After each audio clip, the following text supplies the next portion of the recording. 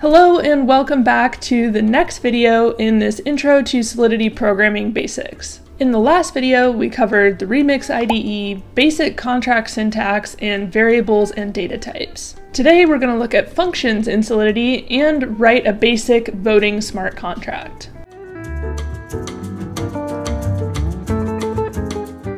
When writing our code, we need a way to write and retrieve values, and we achieve this in Solidity with getter and setter functions. In Solidity, a setter is a function that modifies the value of a variable, or modifies the state of the contract. In our case, this could be incrementing a vote count. A getter is a function that returns a value, such as the number of votes. Something that's really important to writing functions in Solidity is understanding visibility. Visibility modifiers determine the level of access to variables and functions in your code, which is necessary to protect which smart contracts can see the data of a specific contract. There are four types of visibility modifiers in Solidity, private, internal, external, and public. A function that is marked as private can only be accessed from inside the contract where it's defined. An internal function can be accessed within the contract where it's defined as well as its subclasses. A public function can be called internally or it can be accessed from other smart contracts. And a function marked as external can only be called from other smart contracts outside where it's defined. We're going to see examples of all this in the smart contract we're about to write, so let's go ahead and go back over to Remix.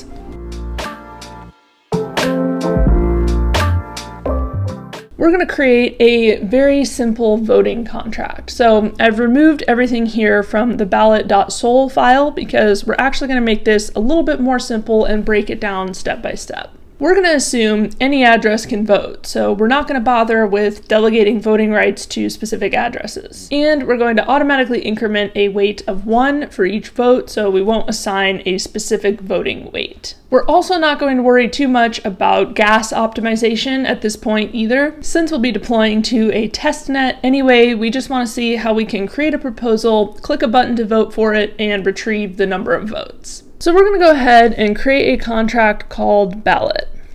And then we know we're going to need to be able to store each voter, so we know if they voted and the proposal that they voted for. So we're going to create a struct. If you remember from the previous video on data types, we're going to use struct here to create a voter type that contains a boolean, whether or not they voted yet. Then we're going to do the same thing to create a proposal, and that's going to have a name or some way to identify the proposal and a count of how many votes the proposal has received. So that's pretty straightforward. Now we're going to create a variable to store the addresses of the voters, mostly so we can see a mapping example here. And we'll give it a public visibility so other contracts could access it. So remember, this will result in a key value pair, so you would be able to get the voter by the address key. Then we're going to need a proposals array. So we'll give it a type and make it public. Now, note that we would not want to use a mapping here because we will need to iterate over this list of proposals, so we want to use an array. Okay, now we need to initialize a new ballot to choose one of the proposals. So we're going to go to create a constructor here, which is a special function that's used to initialize state variables in a contract. It's going to take an argument of an array of proposal names. And we'll use the memory keyword here. And what that does is it stores function argument data and then it gets wiped after execution. So this is something that will consume gas, okay, so that's just something to note. Now, Solidity doesn't let you pass an array of strings in the constructor, at least not yet, so that's why we're using a bytes32 array here instead. I'm just going to paste in their for loop here to save some time. I think we all understand a for loop. It's just looping through the proposal names array that we give it and initializing a new object of the proposal type that we created up above with some default values and pushing that to our proposals array. So now we can finally make our actual voting function. This is going to be a setter function because we're modifying a vote count value, right? So it's going to take the index of the proposal we want to vote for as an argument. And for the sake of this example, we'll assume we know the index of the proposal we want to vote for. Obviously, you'd probably want to make a function to get you the list of proposals so you could choose the one you want. but we'll assume we already know that for now. So we're going to store this voter in a sender variable that's of our voter type that we defined up above. Here we'll use the storage keyword, which is similar to the memory keyword, except that this is a persistent storage on Ethereum. Okay, so this can use even more gas. And we'll use message.sender, which is a handy way in Solidity to access the address that's making the function call. So in this case, the address of whoever is voting.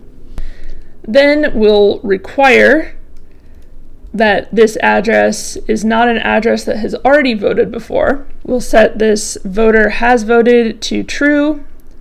They're voting for the proposal at the index we gave it. And then finally, we're to get the proposal at that index from our proposals array, and we're going to increment the vote count property by one. Now, if we give it an index of a proposal that doesn't exist here, it's going to automatically throw and revert everything, so we don't have to worry about that. All right, so now we want to be able to see how many votes our proposal has received. This is going to be a getter function. It's going to take the proposal index as an argument. Since it's read-only, we can also actually mark this function with the view keyword, and we can say that it's going to return the vote count. So that's going to be an unsigned integer type. All right, let's head over to the sidebar and compile our ballot.sol file. The green check mark here means it compiled successfully, so we're ready to deploy. Now, remember our constructor function is expecting an array of bytes 32 values for our proposal names to vote on in order for this contract to execute. So we need to pass that in when we deploy it here. It doesn't matter what specifically we pass in since we don't have an actual proposal to vote on, so I'll just put an example bytes 32 value inside the array for now. And of course we could pass in as many of these as we want to. We'll click deploy, we can see that it was successfully deployed, and now we can interact with the contract. Now, if we want to go ahead and vote, watch what happens when we put in an index of 1. It actually fails, right? Because there's only one proposal in the array right now, so we need to give it index 0. Now, if we put that index 0 in total votes, we can see that our proposal has received one vote. So we know that our smart contract is working as expected. Now that we've written this contract, in the next video we'll look at how to set up, use, and write tests in the Hardhat development environment for professional Solidity developers, and how to run and deploy this contract using Hardhat.